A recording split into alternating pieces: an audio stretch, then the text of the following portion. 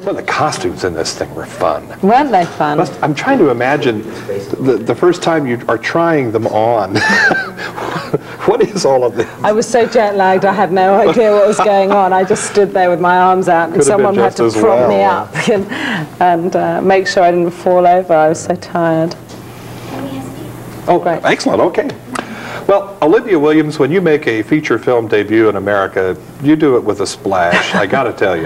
This wasn't a choice. I had no choice in the matter. But could you have chosen? Wow. Could you have chosen anything more significant, huh? No, I big. don't think I could. Um, I'm very lucky because at the time, uh, I don't think anybody would turn down the opportunity to work with Kevin or to work in this country in the industry that you do so well.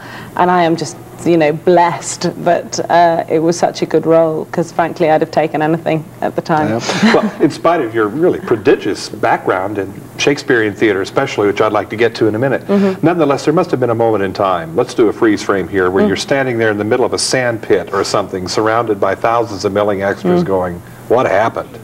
How did this come about? I do. I did have to really work very hard not not to do that because you know I, I had a job to do and I had to concentrate on developing the character and and not wasting other people's time and and uh, you know I really did have to make myself concentrate and, not let it faze me.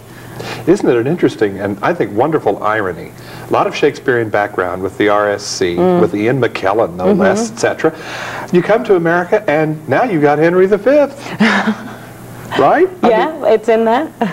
you had no inkling of that, I assume. No, well, I was pleased to see when I read the uh, script on the way over in the airplane to see that the Bard made an appearance in this movie, but it was nothing to do with me, I assure you. Yeah, but nonetheless, the idea of the of the hero having greatness thrust upon him, like Hal. and, Mm-hmm. Indeed. You know, it's kind of Yeah, nice. Uh, talk to me, though, about your theater experience. Uh, do you always have in the back of your mind uh, the cinematic next step, or were you quite happy with your Shakespearean work? Um, that's kind of, um, I don't mean to be rude, but to misunderstand the nature of being a, an actor. Y- you take whatever comes along. I mean, I, I wanted to do theatre, and one of the reasons I became an actor was to act out the plays I'd studied at university. But, you know, when you're actually trying to do it for a living, you, you do what you're given, and you're grateful to have, to have work. But certainly, I would guess you got the kind of tools that you will need and can use henceforth.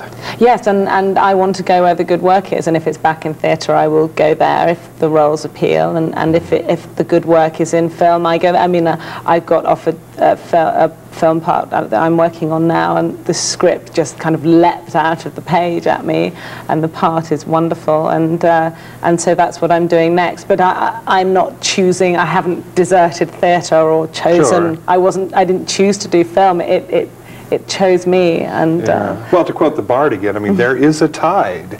Is this one of those moments that you're going to look back upon years to come, do you think? I don't know. I can't get any perspective on it at the moment. It's still, it's still happening. It's, you know, I, I still haven't had a chance to, to step back uh, at all and, and contemplate what's happened or what's going to happen. Well, let's indulge ourselves for a few seconds in a wish list. What do you want to have happen? Do you want to stay in this country and work? I want to find good work. It's very, very simple and very boring answer. I, I, I, what I love about this movie is that it has given me access and, and the opportunity to go do good work. And um, that is what's most frustrating as an actor is that, that most good actors, I think, aren't given the opportunity to fulfill their potential. And if I have that opportunity, I am very lucky and I'm grateful for it. Is this you uh, on the run? Uh, yes, no, I'm grieving over the body of my, my dead something, husband. something truly dramatic has just happened there. Yeah, okay. No, it's a, it's a very, it, was one of the most